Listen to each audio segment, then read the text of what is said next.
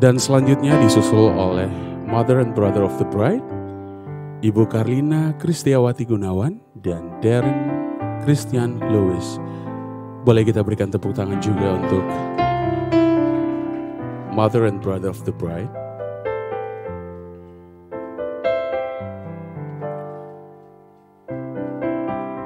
Dan selanjutnya kita akan menyambut the groom kita pada pagi hari ini. Mari berikan tepuk tangan yang paling meriah. Albert Wijaya. Sekali lagi Bapak Ibu Saudara, mari berikan tepuk tangan yang paling meriah buat the groom kita pada pagi hari ini.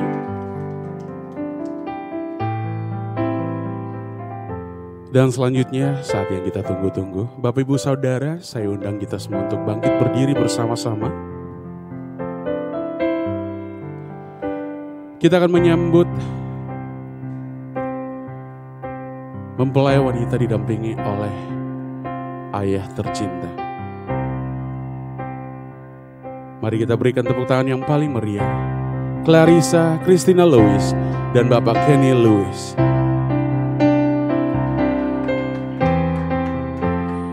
All my life you have been faithful. And all my life you have been so, so good. With every breath that I am able, I will sing of the goodness of God.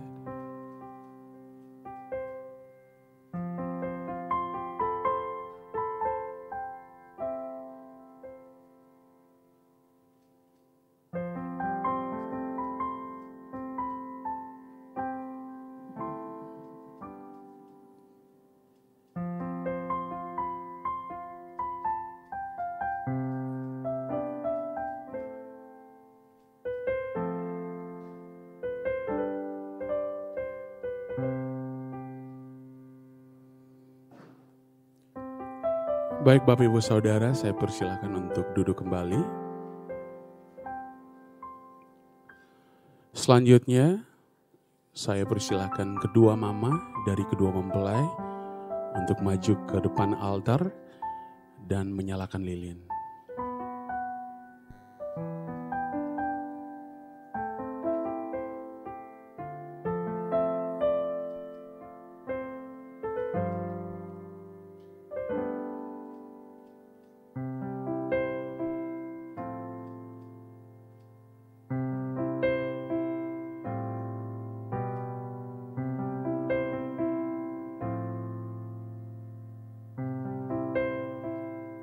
Persilakan untuk duduk kembali.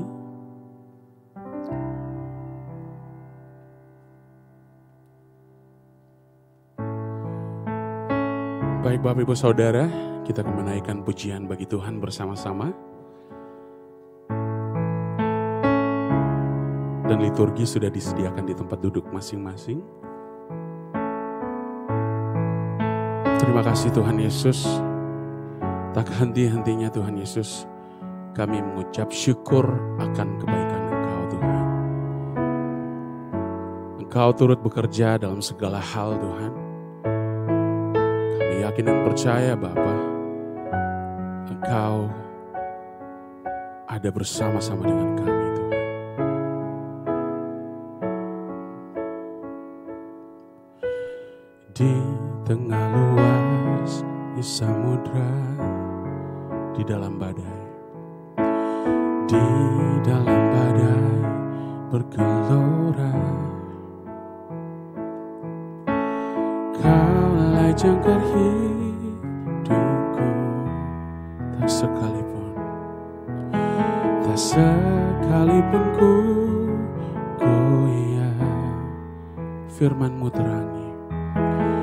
Firmanmu terangi langkahku Sumber damai sumber damai dalam hidupku. Ku aman di dalammu, ku aman di dalammu.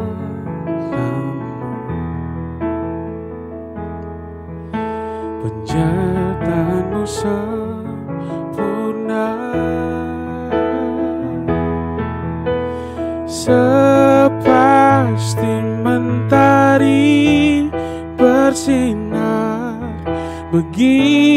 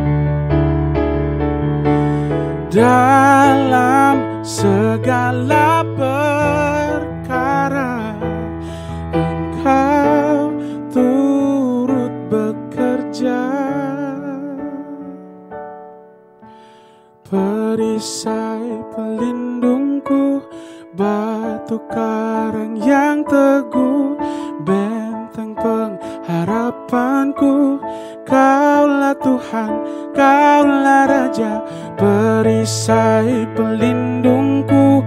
Batu karang yang teguh benteng pengharapanku. Kaulah Tuhan kaulah Raja perisai pelindungku. Batu karang yang teguh benteng pengharapanku kaulah Tuhan kaulah Raja perisai pelindungku. Batu karang yang teguh benteng pengharapanku. Kaulah Tuhan kaulah Raja sepasti mentari bersinar begitu pun janjimu. Dalam segala perkara engkau turut bekerja. Sepasti mentari bersinar begitu pun janjimu. Dalam segala perkara engkau turut bekerja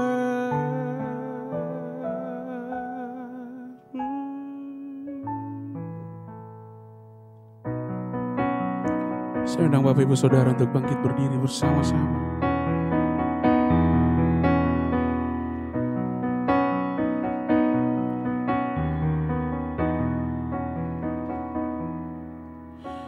Bila ku buka mataku dan lihat wajahmu, ku terkagum, ku terkagum bila ku lihat hidupku dan karya tanganmu, ku tersanjung karena semua yang baik dalam hidupku. Itulah karyamu kesempatan yang baru. Dan ku ingin mengenalmu Tuhan. Lebih dalam dari semua yang ku kenal. Tiada kasih Tiada kasih yang melebihimu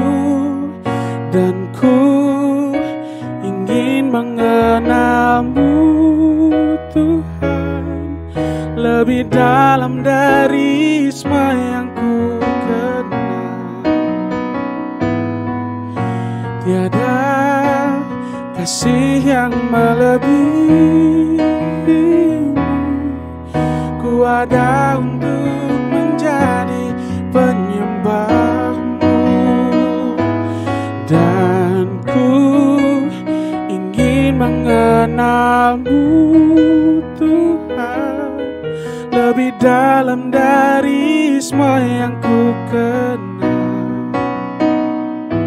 Tiada kasih yang melebihimu. Ku ada untuk menjadi penyembahmu. Dan ku ingin mengenalmu lebih dalam dari semua yang ku kenal. Tiada kasih yang melebihimu. Ku ada untuk menjadi penyembahmu. Ku ada untuk menjadi penyembahmu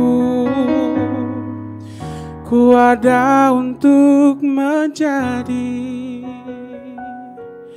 penyembahmu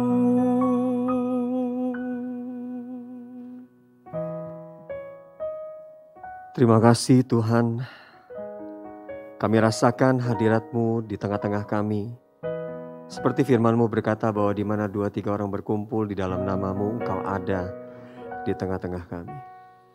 Sebabnya hari ini sebelum kami melangsungkan segala sesuatunya, kami tinggikan Engkau. Kami puji dan muliakan Engkau. Sebab Engkau layak dipuji dan ditinggikan. Semua yang kami punya dan kami ada di tempat di mana kami berada, it's all because of your grace. Semua karena kasih karunia Tuhan. Kami berdoa supaya lebih daripada rangkaian acara liturgi yang kami lalui pada saat ini, kami boleh terus menikmati dan mengalami hadirat Tuhan. Lewat firman-Mu, lewat setiap acara yang kami lalui ini. Terima kasih Tuhan, kami serahkan semuanya ke dalam tangan Tuhan. Di dalam nama Tuhan Yesus Kristus, kami berdoa dan mengucap syukur. Amin. Saudara boleh duduk kembali.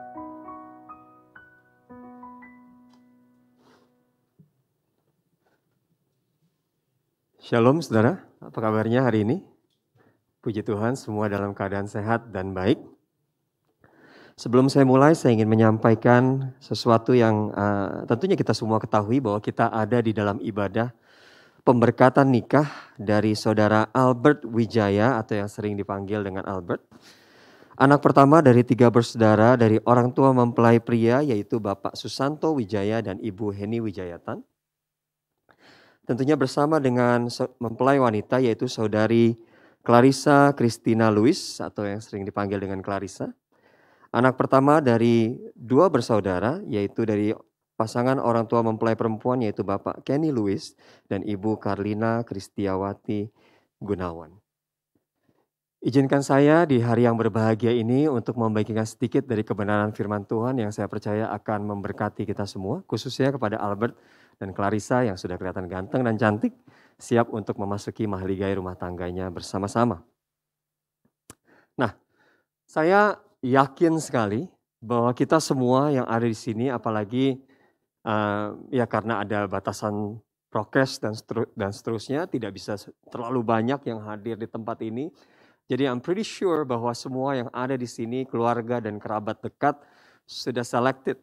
Dan kita semua adalah orang-orang yang berdoa dan percaya berharap bahwa Albert dan Clarissa akan menikmati atau bahkan menjalankan pernikahan yang sehat, yang hebat, yang luar biasa di dalam perjalanan pernikahan mereka bahkan mulai sejak dari awal. Saya katakan kepada mereka waktu dalam pertemuan kami yang terakhir kadang-kadang memang kata-kata ini sedikit mengagetkan tapi sebenarnya ada benernya kalau diperhatikan. Saya bilang sama mereka bahwa tanggal tanggal berapa hari ini? Tanggal 10 hari pahlawan. Tanggal 10 November 2021 ini seharusnya bukan menjadi hari yang paling indah buat Albert dan Clarissa. Biasanya kalau saya ngomong gitu sama sama pasangan semuanya biasanya cenderung terdiam dulu gitu loh. Tapi saya jelaskan, kenapa nggak jadi hari yang terindah? Karena kalau hari ini hari yang terindah, lalu besok gimana? Lalu minggu depan gimana? Lalu tahun depan dan 10 tahun lagi, 20 tahun, 50 tahun lagi bagaimana? Hari ini bukan hari yang terindah. Hari ini adalah awal yang indah. Dari perjalanan pernikahan dari Albert dan Clarissa. Tapi di dalam Tuhan kita sama-sama berdoa percaya bahwa the best is yet to come. Yang terbaik ada di depan mereka. Bahwa besok, minggu depan, tahun depan, 10 tahun lagi, 50 tahun lagi seharusnya jadi hari yang semakin lama, semakin baik, semakin indah di dalam kehidupan mereka. Itu sebabnya saya yakin bahwa kita semua mendoakan hal itu hari ini. Tapi tahukah saudara bahwa pernikahan yang hebat, pernikahan yang sehat, itu tidak terjadi secara otomatis. Otomatis karena kita pikir bahwa oh kita ketemu dengan pasangan yang tepat, kita yakin banget, Lalu otomatis bahagia, otomatis sehat, otomatis luar biasa. Enggak seperti demikian. Apalagi kalau kita pakai kata sehat sebenarnya. Paling gampang ilustrasinya adalah ketika kita melihat kondisi tubuh kita sendiri. Kalau hari ini saya bilang bahwa saya sehat, apakah otomatis seterusnya saya akan sehat? Enggak juga. Kalau yang perlu saya lakukan adalah bekerja, berusaha untuk menjaga kesehatan saya setiap harinya. Kalau saya bekerja menjaga kesehatan saya, maka saya akan terus berada dalam keadaan yang sehat atau bahkan semakin sehat kalau saya mengerjakannya dengan baik. Demikian juga dengan pernikahan. Great marriages are not just happened automatically, but great marriages are built pernikahan yang hebat itu seharusnya dibangun, bukan terjadi secara otomatis hanya karena kita pikir kita dapat jodoh yang tepat atau sering kali kita dengar jodoh dari Tuhan. Karena saya suka bercanda sama teman-teman yang masih single, saya bilang, kalaupun di dahinya ada stempel jodoh dari Tuhan, gitu ya. Tapi nggak ada most, most like ini. Kalaupun ada di dahinya stempel jodoh dari Tuhan. Tapi tetap aja, walaupun dia jodoh dari Tuhan, tetap aja pernikahannya perlu dikerjakan. Perlu dikerjakan supaya kita terus memelihara kesehatan dan keindahan dalam pernikahan kita. Karena baik kata menikah maupun kata yang melandasi pernikahan kita biasanya yaitu mencintai. Menikah ataupun mencintai atau juga mengasihi semuanya adalah sebuah kata kerja. Jauh bahkan bukan cuma jauh doang, beribu-ribu tahun sebelum John Mayer atau seorang artis terkenal menuliskan sebuah lagu yang romantis yaitu Love is a Verb. Kasih adalah sebuah kata kerja. Alkitab sudah terlebih dahulu menuliskan hal tersebut sebenarnya kepada kita semua. Dalam 1 Yohanes 3 ayat 18 dikatakan demikian. Anak-anakku, marilah kita mengasihi bukan dengan perkataan atau dengan lidah, tetapi dengan perbuatan dan dalam kebenaran. Jadi dari sejak awalnya firman Tuhan sudah mengajarkan kepada kita bahwa kita seharusnya mengasihi bukan cuma dengan perkataan saja, apalagi kalau tidak dikatakan. Tapi dengan perkataan aja seharusnya tidak cukup. Harusnya perkataan itu diwujudkan di dalam perbuatan dan apalagi kalau perbuatan itu dilakukan dalam kebenaran. Karena kasih pada esensinya adalah sebuah kata kerja. Sama seperti biasa dalam bahasa Indonesia, pelajaran bahasa Indonesia waktu kita masih SD kita diajarkan bahwa dalam sebuah kalimat ada subjek, ada predikat, ada objek. Jadi kalau saya berkata saya membersihkan rumah. Maka saya jadi subjek, membersihkan jadi predikat, rumah jadi objek. Nah kita sama-sama tahu bahwa Sampai saya benar-benar bangun, ambil sapu, ambil kain pel, dan membersihkan rumah, maka rumahnya nggak akan pernah bersih kalau saya cuma ngomong doang saya membersihkan rumah. Sama halnya juga dengan kata kalimat waktu kita bilang, saya mencintai kamu. Saya mencintai kamu nggak akan benar-benar terjadi dan dialami oleh orang yang kita cintai kalau kita nggak benar-benar bangun dan mengerjakan cinta tersebut. Demikian juga waktu kita, waktu saya, waktu mungkin juga Albert bertanya kepada calon pasangan kita waktu itu, pasangan hidup maksudnya. Will you marry me? Waktu saya bertanya seperti itu kepada istri saya, yang sekarang sudah jadi istri saya maksudnya. Saya sebenarnya sebenarnya sedang willingly untuk berkomitmen sedang bersedia untuk memberikan komitmen saya untuk mengerjakan cinta saya dalam pernikahan saya seumur hidup sebenarnya. Jadi bukan cuma kata-kata doang, gitu loh. Bahkan bahkan kalau saya, saya boleh cerita sedikit, saya so, saya pacaran by the way hampir 9 tahun, 9 tahun lah saya pacaran sebelum saya menikah. Cukup lama. Dan selama hampir 9 tahun itu saya belum pernah ngomong I will always love you saya biasanya ngomong I love you. Gitu. Kenapa? Karena buat saya kata will always itu ada bobot tersendiri. Gitu loh. Akan selalu. Itu seakan-akan bahwa udah that's it. Akan dan selama-lamanya. Gitu loh. Sampai saya selesai di dunia ini. Jadi pertama kali saya ucapkan itu kepada orang yang setelah sekarang telah menjadi istri saya. Adalah ketika saya melamar dia. On bended knee, lalu saya bilang, will you marry me? Pas dia bilang, iya, yes, apa, yes I do, yes I will. Lalu sejak saat itu saya baru berani berkata, I will always love you. Sampai hari ini. Dan seterusnya. Kenapa? Karena ada bobot tersendiri untuk mengerjakan kata-kata yang saya ucapkan kepada istri saya. Kalau I love you kan cuma present tense. Tapi kalau I will always love you itu dia future present tense gitu loh. So jadi itulah sebabnya kenapa cinta perlu dikerjakan. Nah saya akan sampaikan tiga hal yang dapat membantu kita untuk mengidentifikasi apa itu cinta dan apa yang mungkin bukan cinta. Yang pertama adalah love is not a feeling, but love is a commitment kasih atau cinta bukan cuma sekedar perasaan yang muncul, tapi kasih atau cinta adalah sebuah komitmen yang harusnya kita kerjakan. Sebuah keputusan. Sebentar lagi Albert dan Clarissa akan sama-sama kita saksikan mereka akan mengucapkan komitmen mereka, janji pernikahan mereka kepada satu sama lain.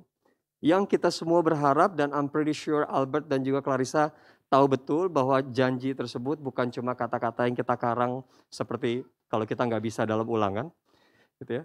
Tapi seharusnya kata-kata tersebut adalah kata-kata yang sudah kita pikirkan bahwa inilah yang akan saya kerjakan seumur pernikahan saya. Gitu. So jadi Love is not just the feeling yang muncul doang waktu kita naksir sama seseorang.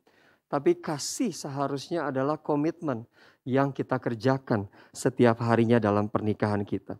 Dalam hubungan yang kita jalin.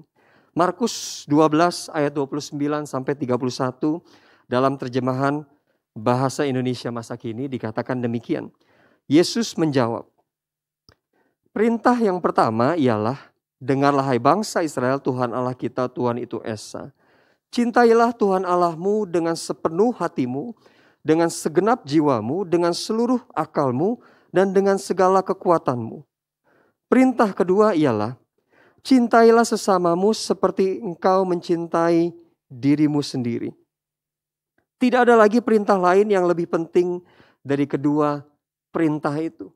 Menarik karena dalam ayat 29, 30, 31, tiga ayat ini kita temukan kata cinta dan kata perintah ada dalam konteks yang sama.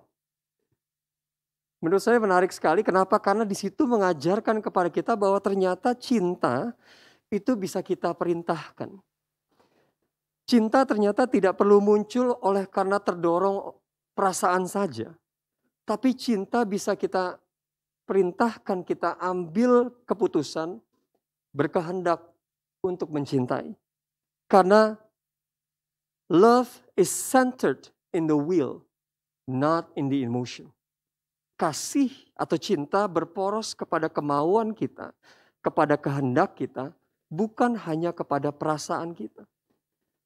Karena kalau pernikahan saya, pernikahan Albert dan Clarissa, atau pernikahan kita semua mungkin yang sudah menikah yang ada di tempat ini, kalau pernikahan kita dilandaskan oleh cinta yang hanya berdasarkan perasaan, maka seharusnya bahaya sekali pernikahannya.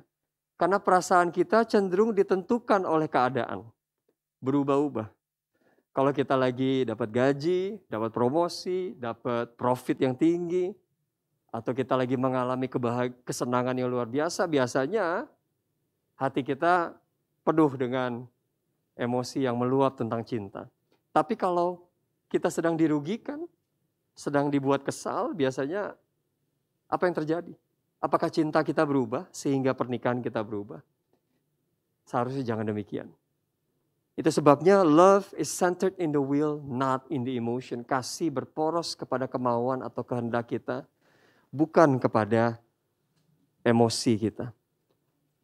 Love is not just a feeling, but love is a commitment. Yang kedua, Love is not passive, but love is an act of sacrifice. Kasih itu tidak pasif, tapi kasih adalah sebuah tindakan aktif untuk berkorban, khususnya bagi orang yang kita kasihi. Ada sebuah kutipan yang berkata bahwa sacrifice is a proof of love. Pengorbanan adalah bukti dari cinta kasih. Nah, kalau saudara di sini sebagai orang percaya, saudara tentunya tahu bahwa Tuhan kita, Tuhan Yesus Kristus adalah salah satu, bukan salah satu, bahwa di, bahkan di ultimate example. Teladan yang paling utama dari sacrifice is a proof of love. Bahwa pengorbanan adalah bukti dari cinta kasih. Yohanes 3 ayat 16 berkata bahwa karena begitu besar kasih Allah kepada dunia ini, maka ia mengaruniakan anaknya yang tunggal supaya barang siapa yang percaya kepadanya tidak akan binasa tapi beroleh hidup yang kekal. Yesus datang ke dalam dunia ini karena dia sayang sama kita, karena dia mengasihi kita. Berkorban bagi kita, mati di atas kayu salib, bangkit pada hari yang ketiga supaya kita beroleh kasih karunia dan keselamatan.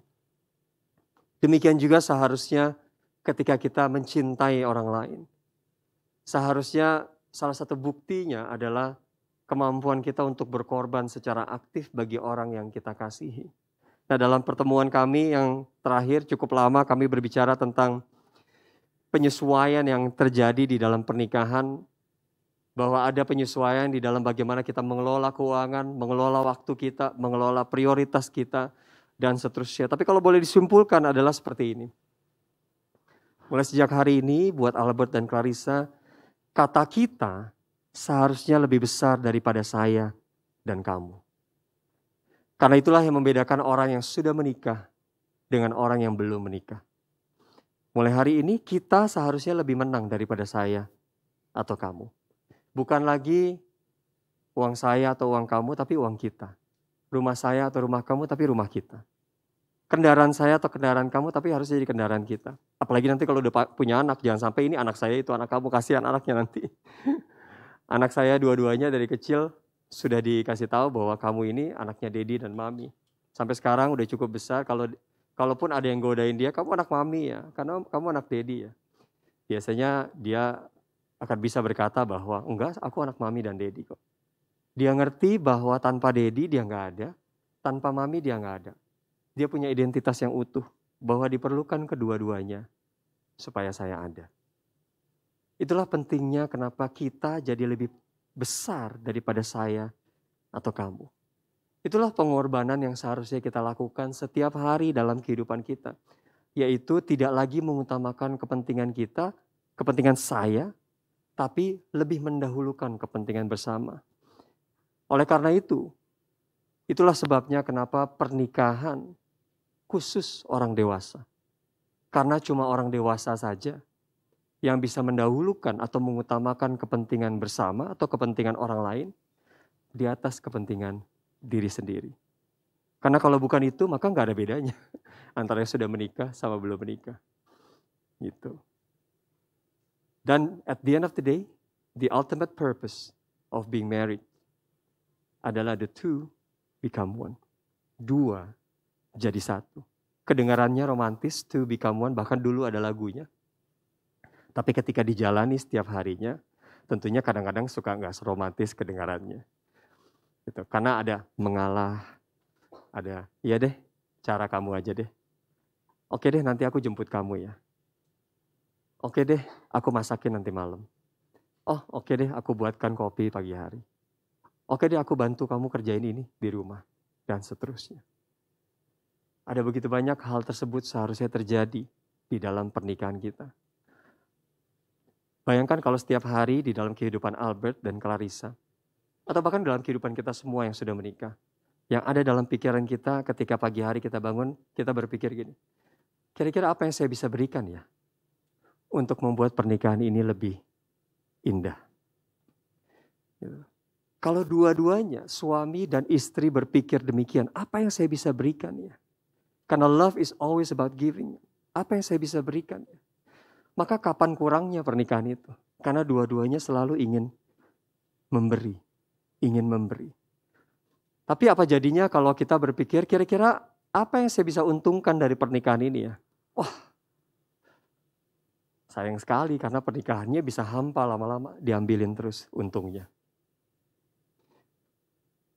saya sempat bilang kalau nggak salah, tapi saya yang jelas saya lumayan sering bilang kepada pasangan di dalam interview.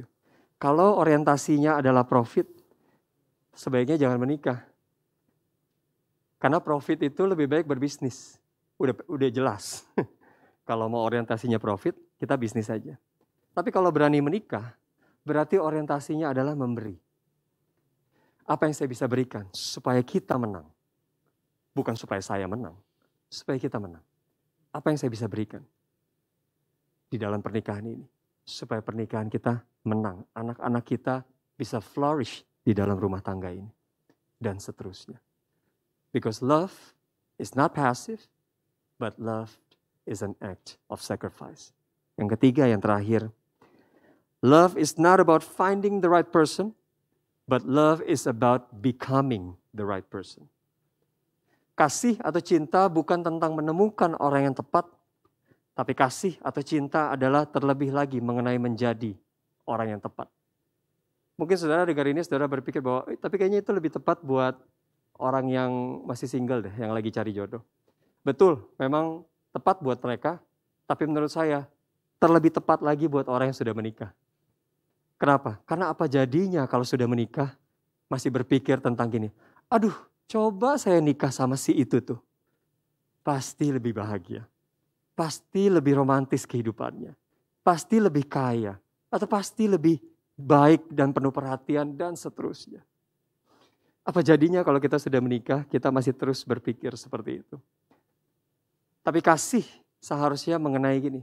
Saya ambil keputusan bahwa saya akan jadi orang yang tepat buat pasangan saya seumur hidup saya. Memberi bukan menuntut. Tapi kalau saya berkomitmen untuk jadi orang yang tepat, lalu istri saya juga berkomitmen untuk jadi orang yang tepat, maka semuanya selaras. Masing-masing membangun dirinya untuk menjadi orang yang tepat buat pasangannya. Lagi pula kalau kita cari di dalam Alkitab tentang bagaimana menemukan orang yang tepat, cenderung agak sulit. Mungkin ayat-ayatnya nggak terlalu banyak. Tapi kalau kita cari di dalam Alkitab tentang bagaimana menjadi orang yang tepat, ada begitu banyak ayat yang dapat membangun kehidupan kita. Salah satunya adalah ayat ini. 1 Korintus 13 ayat 4 sampai 7 dikatakan demikian. Kasih itu sabar. Kasih itu murah hati. Dalam terjemahan bahasa Inggrisnya murah hati diterjemahkan kind and considerate, baik hati dan mempertimbangkan perasaan atau kepentingan orang lain. Kasih tidak cemburu, ia tidak memegahkan diri dan tidak sombong, ia tidak melakukan yang tidak sopan, dan tidak mencari keuntungan diri sendiri Kasih tidak pemarah dan tidak menyimpan kesalahan orang lain. Kasih tidak bersuka cita karena ketidakadilan, tetapi ia bersuka cita karena kebenaran.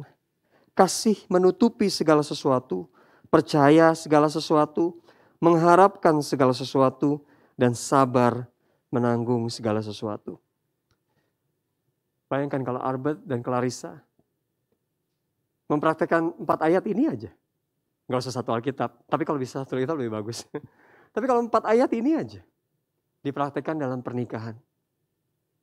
Can you imagine pernikahan seperti apa yang kalian bisa buahkan?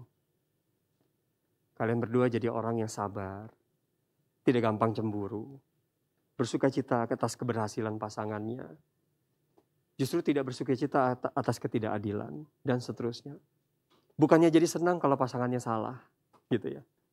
Tapi justru turut merasa bersalah kalau pasangannya salah. Dan mengampuni satu sama lain. Sabar menanggung segala sesuatu.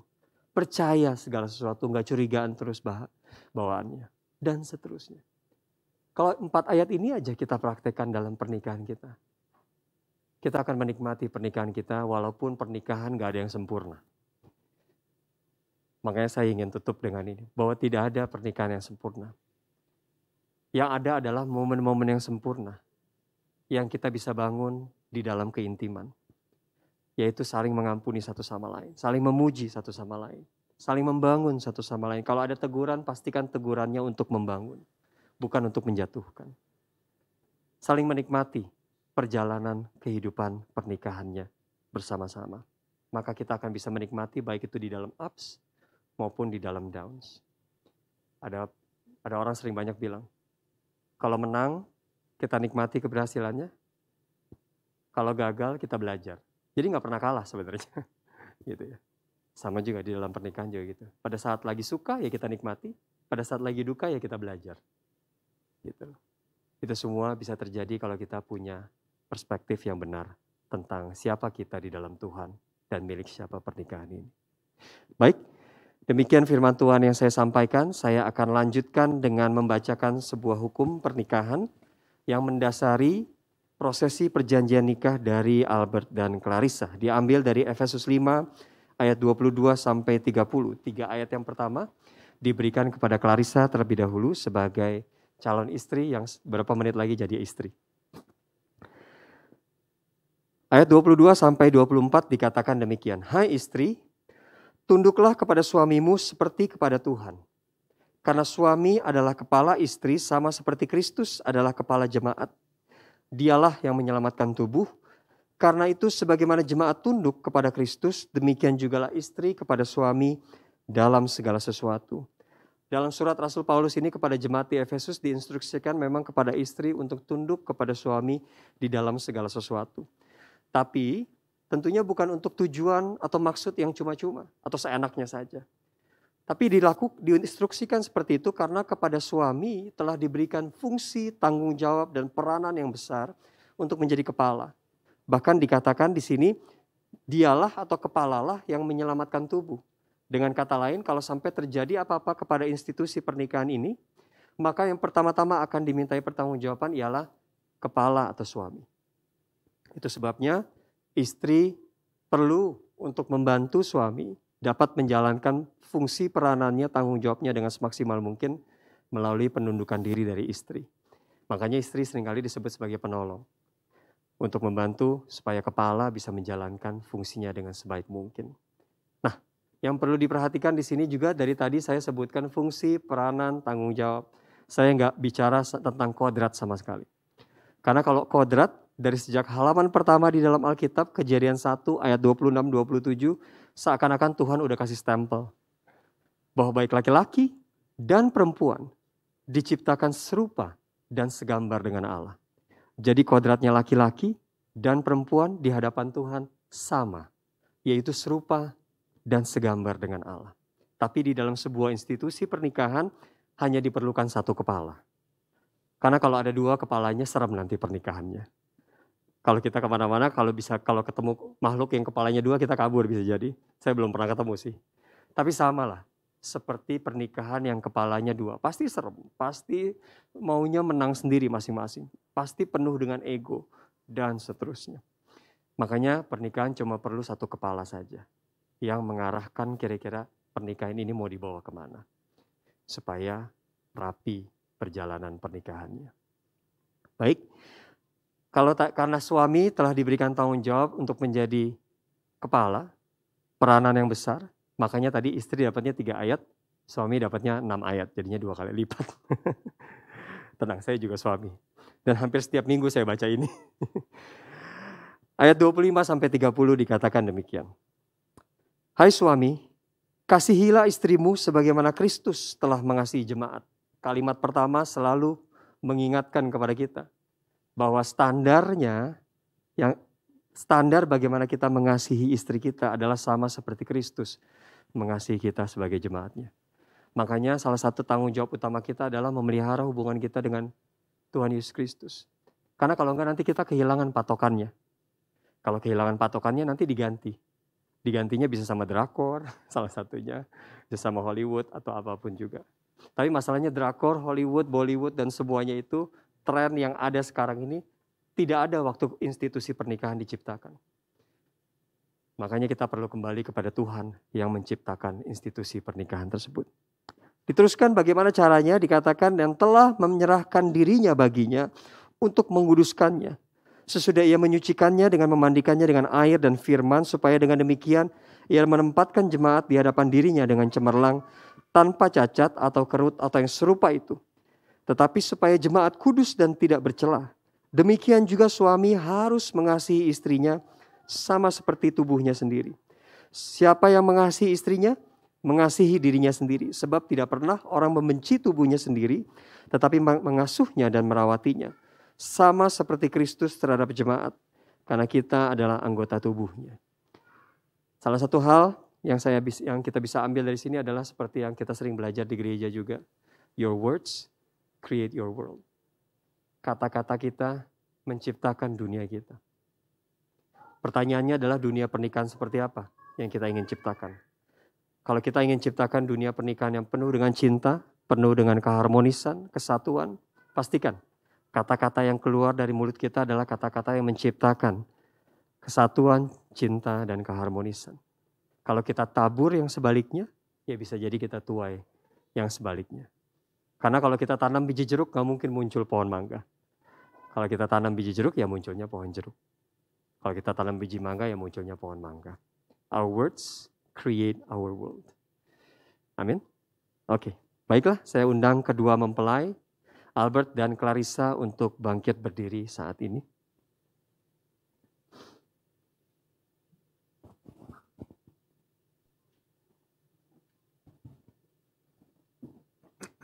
Masih menghadap ke saya terlebih dahulu.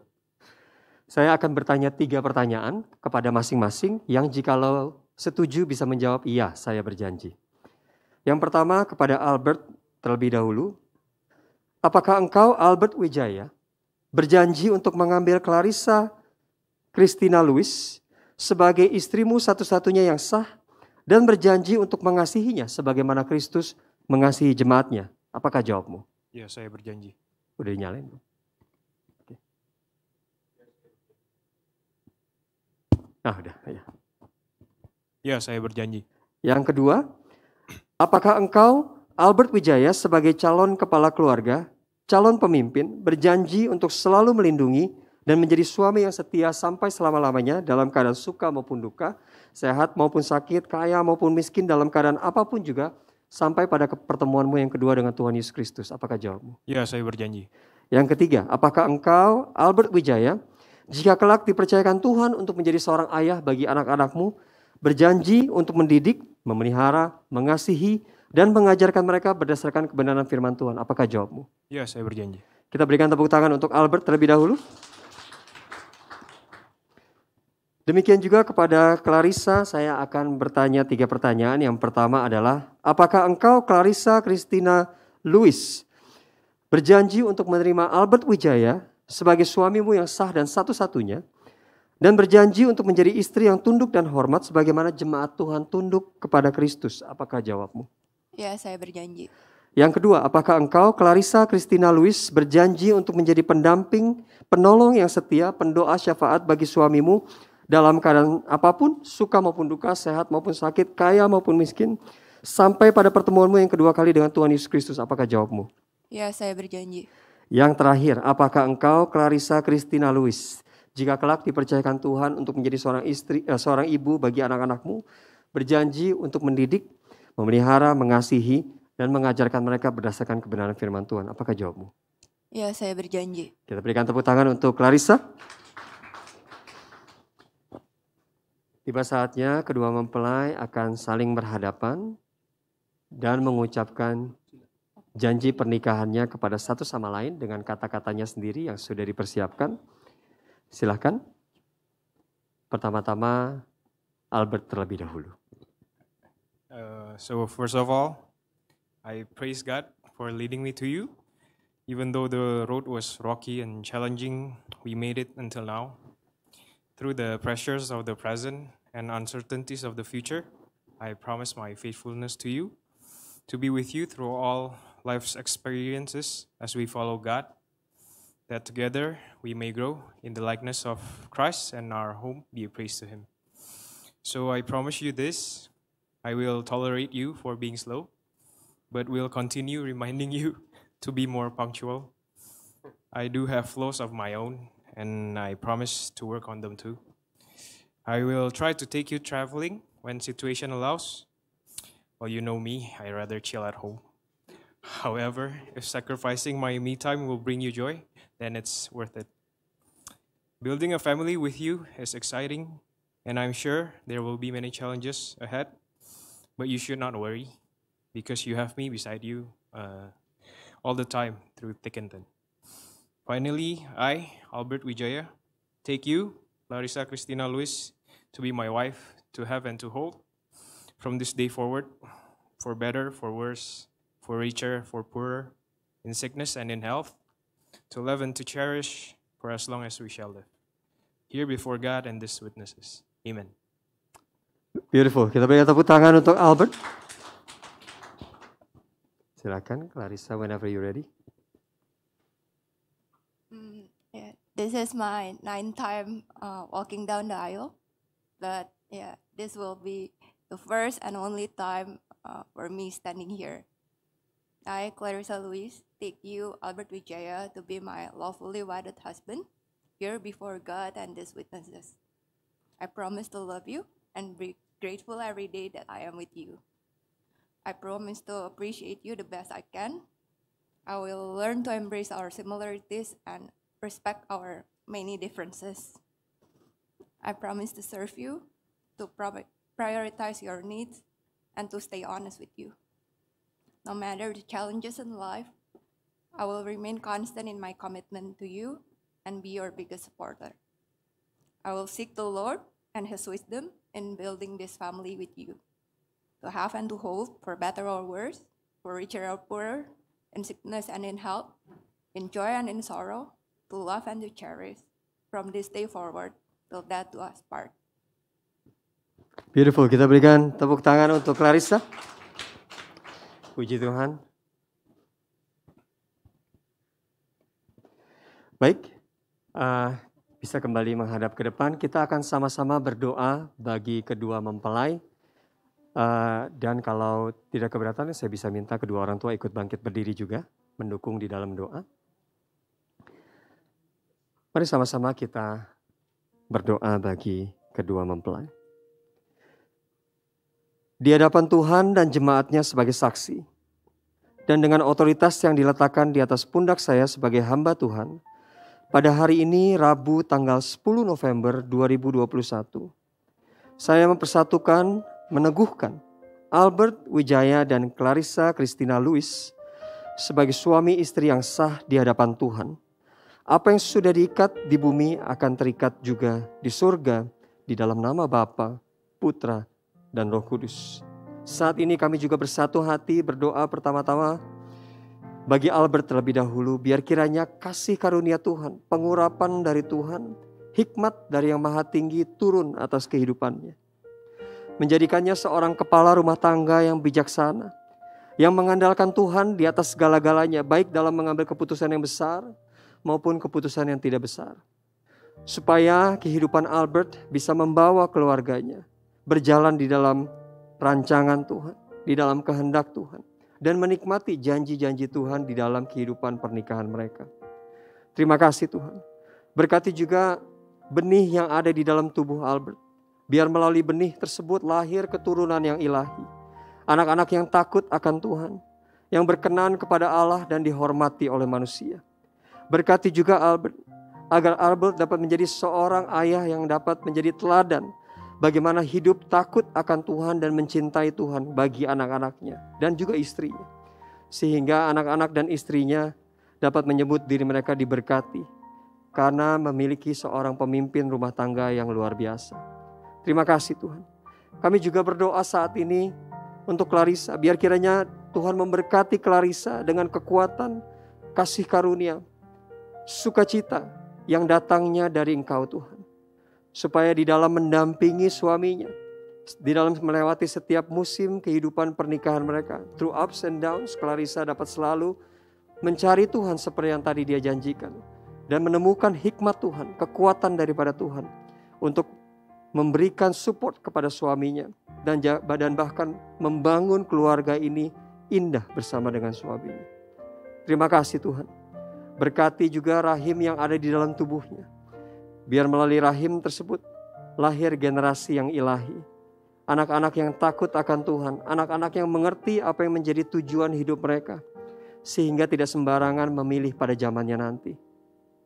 Tuhan berkati agar Clarissa dapat menjadi seorang ibu yang dapat memberikan kasih dan disiplin yang seimbang kepada anak-anaknya, sehingga anak-anaknya tumbuh utuh di dalam kasih karunia Tuhan. Berkati pernikahan ini Tuhan, agar pernikahan ini dapat bertumbuh dari satu kemuliaan sampai kemuliaan berikutnya.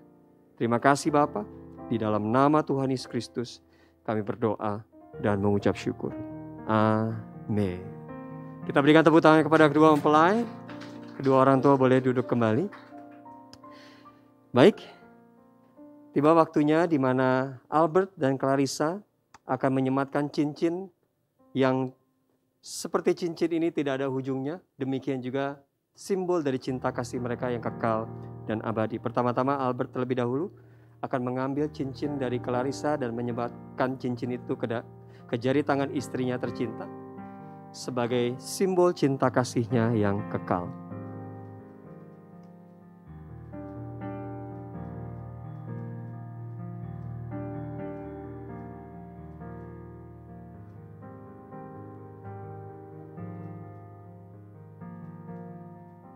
Baik, begitu juga Clarissa akan mengambil cincin dari Albert dan akan menyematkannya ke jari tangan dari suaminya tercinta sebagai simbol cinta kasihnya yang abadi.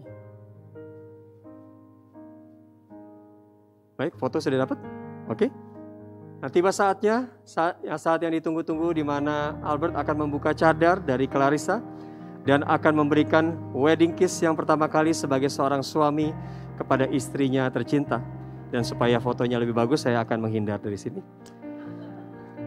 Silakan.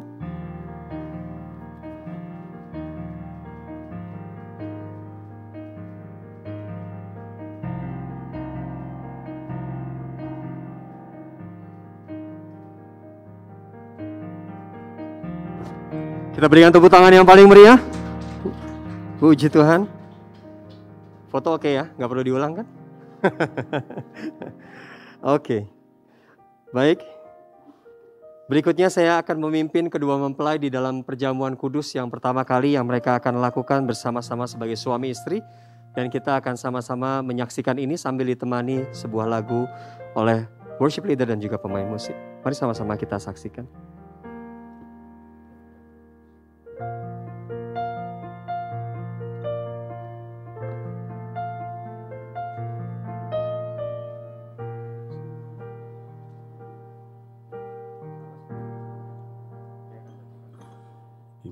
Christ alone feel like glory.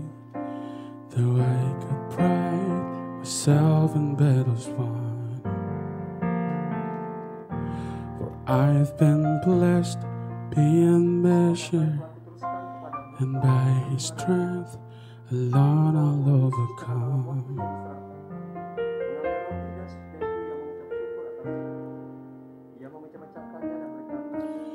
Hmm, I could stop and count successes like diamonds in my hand. But those trophies get not equal to the grace by which I stand in Christ alone. I place my trust and find my glory in the power of the cross. In every victory, let it be said of me, my source of strength, my source of hope is Christ alone.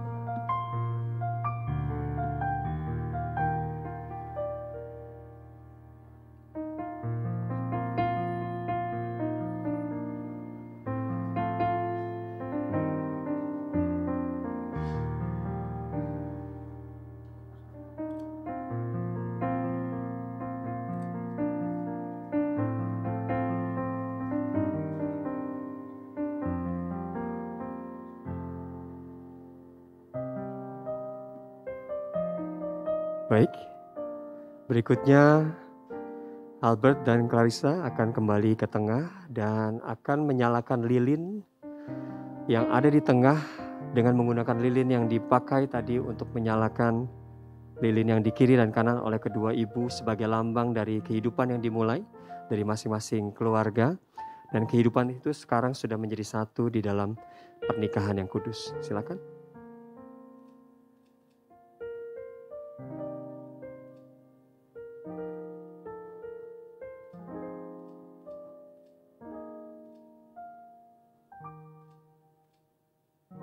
Two has become one. Tidak salahnya kita berikan tepuk tangan bagi kedua mempelai. Puji Tuhan.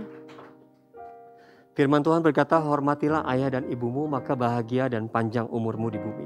Saat ini kedua mempelai akan menghampiri kedua orang tua yang sudah membesarkan mereka sampai hari ini dan akan mengucapkan terima kasih gratitude kepada kedua orang tua. Pertama-tama, Albert akan mengajak Clarissa untuk menghampiri orang tua dari Albert terlebih dahulu.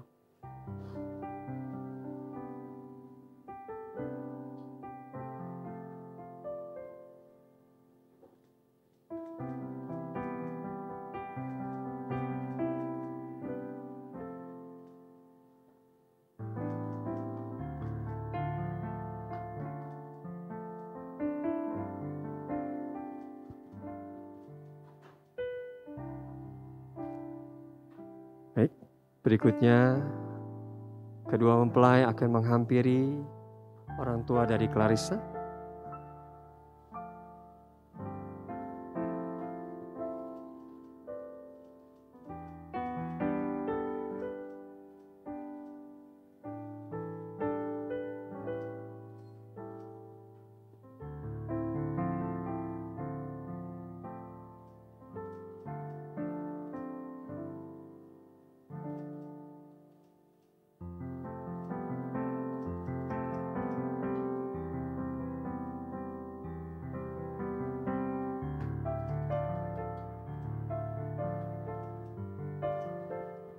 Kita berikan tepuk tangan untuk kedua orang tua mempelai.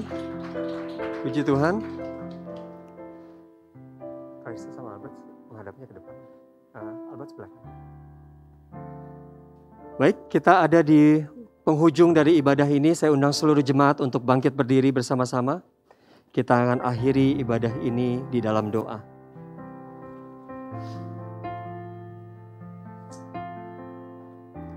Baik, mari sama-sama kita berdoa. Tuhan terima kasih untuk ibadah pemberkatan nikah yang sudah berjalan dengan baik. Kami berdoa biar kiranya berkat-Mu terus menerus dan dicurahkan atas kedua mempelai. Dan perkenanan-Mu juga menyertai dan meneguhkan setiap langkah mereka.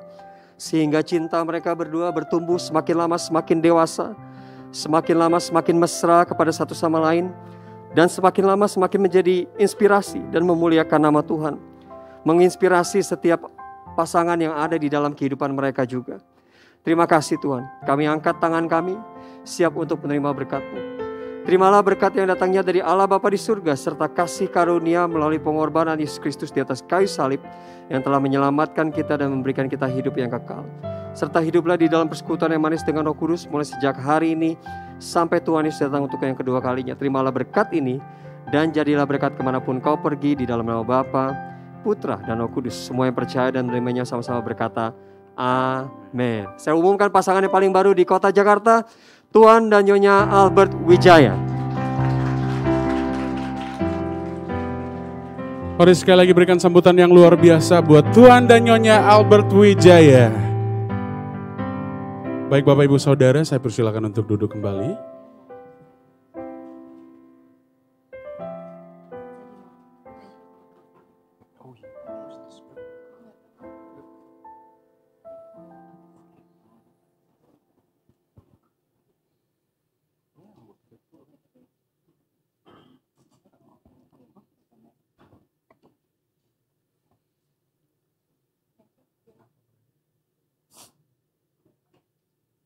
Halo, selamat siang. Uh, sebelumnya saya dan istri saya, Clarissa, mengucapkan terima kasih banyak untuk seluruh keluarga besar, teman-teman yang udah meluangkan waktunya untuk hadir secara virtual di siang hari ini. Mohon maaf karena kami tidak dapat mengundang karena situasi pandemi. Kami mohon doa dari Bapak Ibu tamu undangan agar kami dapat membangun keluarga yang bahagia, penuh sukacita, dan selalu di dalam penyertaan Tuhan. Sekali lagi kami ucapkan terima kasih.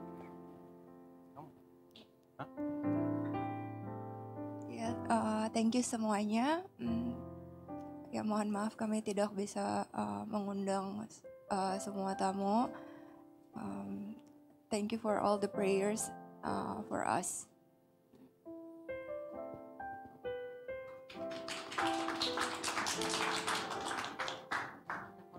Baik, uh, kedua mempelai akan berfoto bersama dengan Pastor Johannes Telly. Saya persilakan.